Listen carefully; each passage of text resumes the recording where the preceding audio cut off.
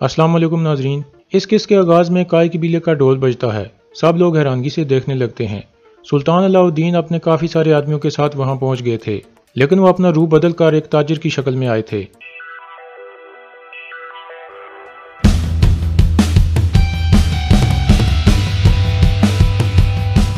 अंदर पहुंचकर वो सब अपने घोड़ों से उतर आते हैं। धुंधार उन्हें खुश आमदीद कहता है। सुल्तान कहते हैं, हमने अपने दोस्तों से अरतुल साहब के बारे में बहुत सुना है। हम यहाँ तिजारत करने आए हैं। हलप में मुझे अबू मंसूर मोहम्मद के नाम से पुकारते हैं। धुंधार कहता है, आपको बहुत खुश आमदीद है।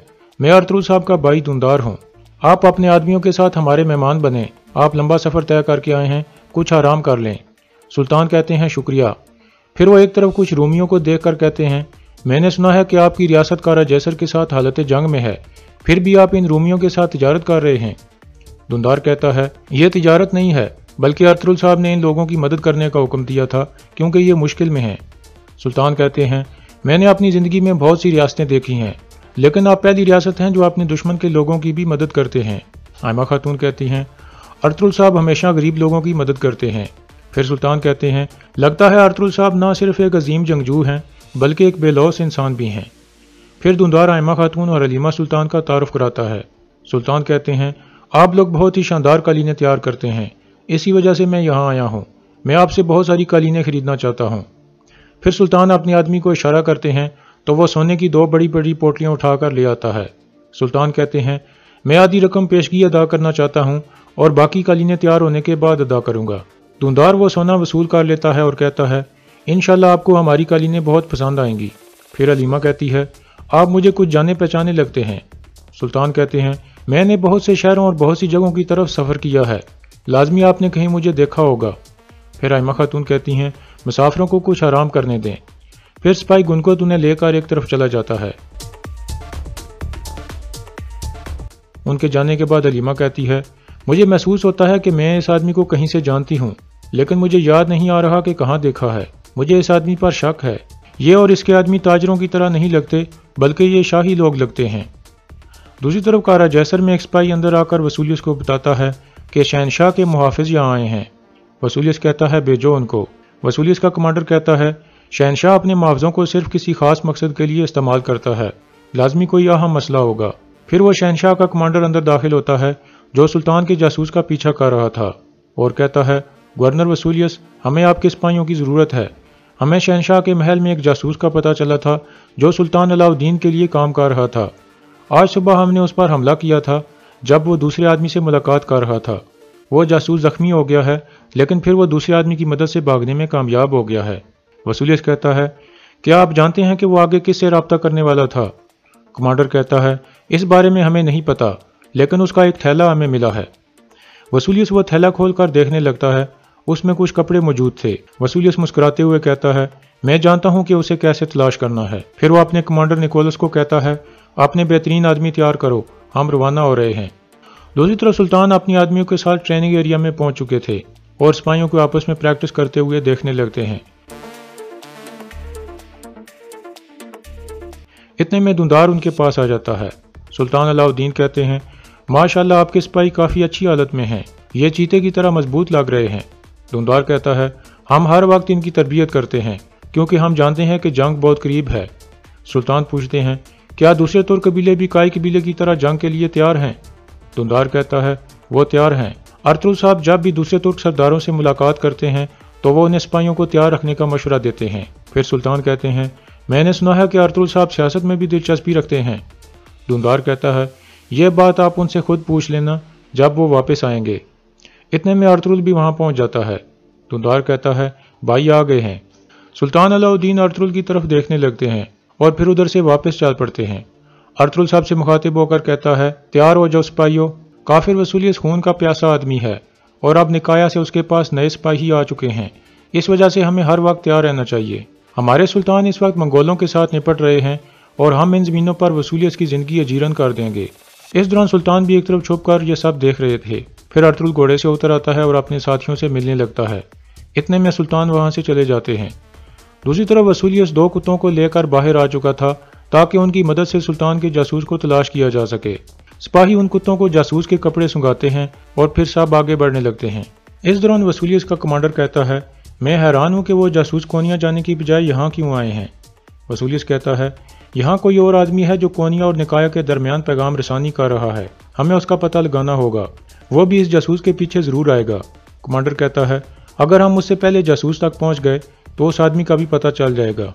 दूसरी तरफ़ ट्रेनिंग एरिया में अर्तुल दुंदार को कहता है, तुम काफ़ी मेहनत कर रहे हो, इससे मैं काफ़ी मुतासर हुआ हूँ। अब तुम जरगे का आदमी और एक सिपाही होने के पूरे अकदार हो। यह सुनकर दुंदार बहुत खुश हो जाता है और कहता है, मेरे पास भी आपके लिए एक खुशखबरी है भाई। हलब से एक ताजिर अबू मंसूर यहाँ आया है। वो हमारी कालीनों से काफ़ी मुतासर है और हमसे बहुत सारी कालीनें खरीदना चाहता है। उसने पेशगी में काफ़ी सारा सोना भी दे दिया है। अर्तुल कहता है, यह तो खुशी की बात है, कहाँ है वो? दुंदार कहता है, अभी तो वो यहीं था, पता नहीं कहाँ गायब हो गया है। जावेदार कबीले में आलियार असलान को कहता है, जब से आप अमीर सादीन की तरफ़ से होकर आई हैं, आपने एक लफ्ज़ भी नहीं कहा। आप घुड़सवारी और शिकार की शौकीन हैं, लेकिन अभी आप अपने खेमे में बंद होकर रह गई हो। असलान कहती है, मैं एक आज़ाद परिंदे की तरह उड़ना चाहती थी, लेकिन किस्मत ने मुझे कैद कर दिया है। आलियार कहता है, कोई भी आपको इस शादी पर मजबूर नहीं कर सकता, बाजी। अगर आप ऐसा नहीं करना चाहती तो मैं आपका पूरा साथ दूँगा। असलान कहती है, अब तीर कमान से निकल चुका है भाई। मैं रियासत और हमारे कबीले के दरमियान दुश्मनी नहीं पैदा करना चाहती। आपको क्या लगता है कि आप सादुद्दीन हार मान जाएगा? आलियार कहता है, आप मुझ पर यकीन रखें बाजी। जब तक मैं ज़िंदा हूँ, आपको ये शादी करने पर कोई मजबूर नहीं कर सकता। असलान मुस्कुराते हुए कहती है, अल्लाह का शुक्र है कि मुझे आप जैसा भाई मिला है। आलियार कहता है, शुक्रिया बाजी। आज शाम हम अरतुल साहब की तरफ़ जाएँगे। आप तैयार हो जाएँ। दूसरी तरफ़ वसूलियस के कुत्ते एक जगह पहुंचकर रुक जाते हैं। एक स्पाई कहता है, जनाब, वो इस गार में छुपे हैं। यह सुनकर वसूलियस उस गार की तरफ़ बढ़ने लगता है और अंदर दाखिल हो जाता है। दूसरी तरफ़ सुल्तान अलाउद्दीन हली बाज़ार के सराय महल में पहुँच चुके थे। वहाँ बाज़ार के बहुत सारे ताजिर भी मौजूद थे, जिन्हें सुल्तान ने दावत देकर बुलाया था। वो सब ताजिर अर्तुल की बहुत तारीफें करते हैं और कहते हैं, अर्तुल साहब ने हमेशा हमारी मदद की है और हमारे सारे टैक्स भी माफ़ कर दिए हैं। फिर सुल्तान अलाउद्दीन आलिको को कहते हैं, मेरे मेहमानों के लिए गोश्त और शरबत लाओ और मुझे मायूस मत करना। फिर आलिको अपने आदमी को अच्छा खाना तैयार करने का हुक्म देता है। फिर वो दुमरल को कहता है, इस आदमी ने मेज़ पर सियासत शुरू कर दी है। मुझे ये आदमी अच्छा नहीं लगा। इसने पूरा सराय महल बुक कर लिया है। मैं खौफजदा हूँ कि इसके पीछे वसूलियत ना हो। तुमरुल कहता है, तुम परेशान ना हो आलिको हमारे आदमी सारी रात जाकर इनकी निगरानी करेंगे। मैं भी कबीले जाकर अर्तुल साहब को इस बारे में खबर देता हूँ। दूसरी तरफ़ वसूलियस गार में पहुँच जाता है, जहाँ सुल्तान का जासूस सो रहा था। वसूलियस उसकी टांग में तलवार रखकर उसे जगा देता है और कहता है, हमने आपकी नींद में खलल तो नहीं डाला? वो जासूस अपना खंजर उठाने की कोशिश करता है, लेकिन वसूलियस उसे नाकाम बना देता है और कहता है, बताओ मुझे सुल्तान अलाउद्दीन की ज़मीनों पर तुम्हारा जासूस कौन है? यहाँ तुम किसका इंतज़ार कर रहे हो? जासूस कहता है, मैं शहादत का इंतज़ार कर रहा हूँ, कमीने। वसूलियस उसे मुक्का मारकर बेहोश कर देता है। इतने में शहशाह का खास कमांडर अंदर दाखिल होता है और कहता है कमांडर वसूलियस, वो दो आदमी थे, एक आदमी गायब है। ये सुनकर वसूलियस उस कमांडर की गर्दन पर तलवार फेर कर उसे मार देता है।